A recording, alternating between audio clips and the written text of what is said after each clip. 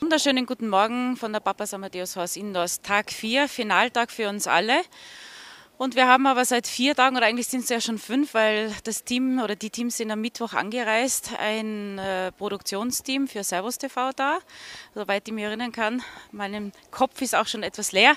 Sind sie aus Berlin angereist. Neben mir stehen Jana Griewald und Florian Breithaupt.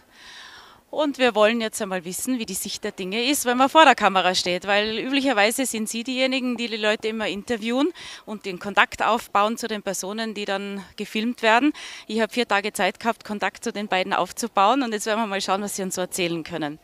Jana, du warst die Erste hier, hast eine wilde Fahrt gehabt aus Berlin und bist jetzt eingetaucht in die Pferdewelt, die vielleicht etwas verrückte und besondere Pferdewelt. Wie fühlst du dich und was sind so deine Impressionen?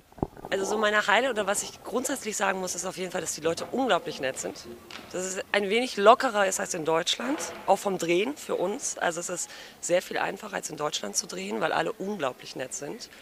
Und äh, was ich ganz spannend fand, dass wir doch nach drei Tagen relativ schnell äh, verstanden haben, wie das so funktioniert. Also, so, also wenigstens so die Grundregeln, weil wir sind wirklich Laien. Und es ist einfach großartig. Es hat, oder es macht großen Spaß und äh, ich hoffe, wir kommen nächstes Jahr wieder.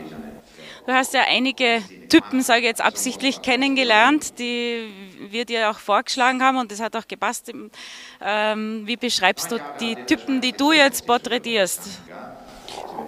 Ja, also äh, meistens sind es ja nochmal die, die man dann nochmal so spontan kennenlernt. Oder äh, also die Steffi, Biestern ist einfach eine, eine ganz liebe und äh, ich hoffe, oder sie hat mir versprochen, wenn sie erfolgreich wird, dann wird sie uns auf jeden Fall zum Turnier einladen, weil wir waren ja eigentlich ihr erstes Kamerateam irgendwie. Ja, Hugo Simon ist eine Legende, klar, also ist schon eine Type, definitiv. Wen hatten wir noch? Ich, ich, ich war ganz begeistert, aber dessen Namen weiß ich nicht. Das ist so ein Italiener, der läuft hier immer mit einer Pfeife rum. Das war dann Natale Chiaudani. Großartig, großartig. Und im Endeffekt, das sind einfach großartige Typen. Alle sehr locker, das ist es halt. Locker vor der Kamera. Und wen ich eigentlich, mein, mein persönlicher Favorit ist schon der Max Schmidt. Bei mir wahrscheinlich aus anderen Gründen als bei den anderen Mädels so, aber toller Typ, lustig. Florian, du bist ein bisschen später dazu gestoßen, aber klar hast, glaube ich, auch schon einige Eindrücke gewonnen hier. Ja, das stimmt. Also äh, was ich vor allem sagen muss, bemerkenswert finde ich, dass man sich hier als, äh, als Zuschauer natürlich nicht nur den Namen des Reiters merken muss, sondern auch noch gleich den, des Pferdes. Das finde ich schon, also für mich irgendwie auch eine, eine besondere Herausforderung. Ähm, also was ich, was ich schon so sagen kann, dass es irgendwie sehr familiär abläuft. Also da haben wir irgendwie auch so die, die, die notwendigen Zugänge bekommen, dass hier jeder jeden kennt und, und das ist, glaube ich, schon auch sehr besonders. Also das ist so eine, so eine Reizszene, die so von, von Stadt zu Stadt wandert und man trifft sich hier und das, das finde ich schon sehr herzlich und da schließe ich mich der Jana an, dass das, ähm, dass das schon Spaß macht, irgendwie zu sehen, wie man hier so, so sehr familiär miteinander umgeht. Das ist, das ist spaßig. Entwickelt man eigentlich zu den Personen, die man dann interviewt, auch, äh, Jana, komm ein bisschen mehr in die Kamera, ne? äh, entwickelt man zu den Personen, die man interviewt, generell immer eine persönliche Beziehung oder ist es abhängig von den jeweiligen Leuten?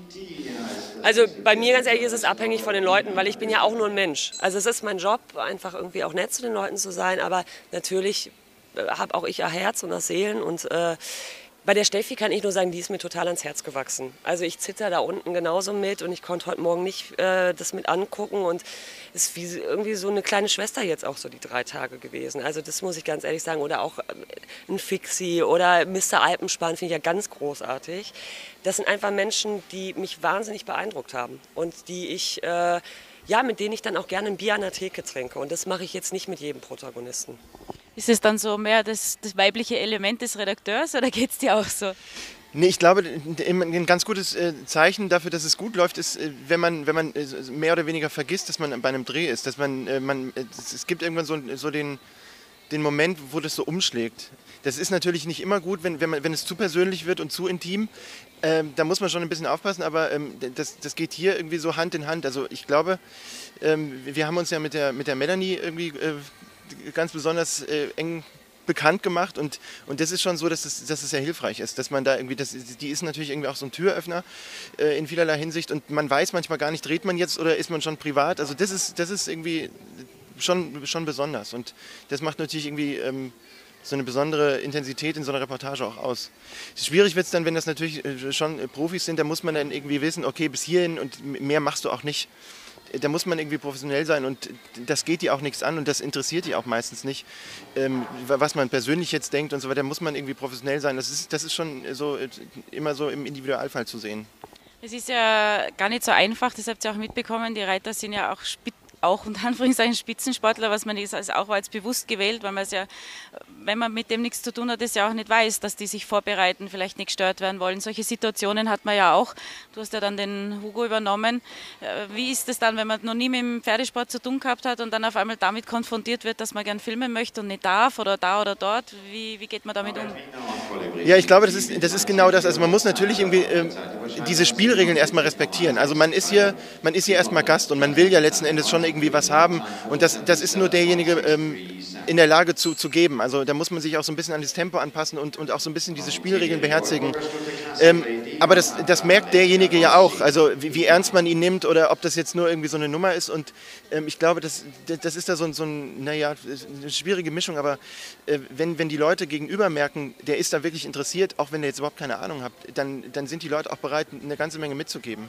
Das ist wichtig, glaube ich. Ja.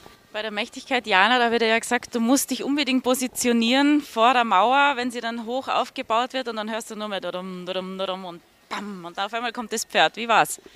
Also da muss man ja ganz klar sagen, ich, ich mache das jetzt auch acht Jahre und du drehst überall und man ist ja auch irgendwie schon, also man erlebt viel. Du bist sehr reizüberflutet, aber diese Mächtigkeitsprüfung, ich glaube, ich hatte fünf Herzinfarkte. Ich bin wirklich gestorben da an der Seite und ich habe sowas in meinem Leben noch nie gesehen. Also und als der Max dann noch am Ende gewonnen hat und geweint hat wie ein Schloss, und da konnte ich dann auch nicht mehr. Und da merkt man dann schon, da ist man dann auch nur Mensch und nicht nur Journalist oder Autor. Das reißt dann mit und es ist dann eigentlich total schön. Ne? Gestern ähm, war ja ein langer Tag für uns alle. Ähm, die Halle war sehr gut gefüllt. Ich habe mich gewundert, dass bis um 11 Uhr in der Nacht haben die Leute den, äh, das Championat noch bewundert und dann ist noch mit Dressur weitergegangen. Da sind immer noch die Leute gesessen. Aber ihr wart ja auch in Sachen rundherum unterwegs und ich glaube, äh, soweit ich das gehört habe, habt ihr da die Tanzfläche auch etwas gerockt oder wie war das auch Teil der Produktion?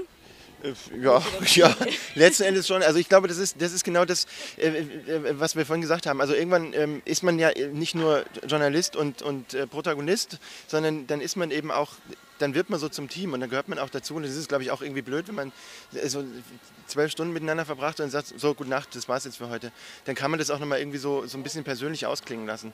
Und immerhin hat mich irgendwie das davon überzeugt, dass Reiter nicht nur reiten können, sondern auch eine ganze Menge anders. Und die, ste die stehen morgens nämlich auch irgendwie, den Max habe ich gesehen, der sah jetzt nicht blendend aus, aber er sah zumindest, er saß hier und hat seine, seine, Freund, seine Freundin angefeuert.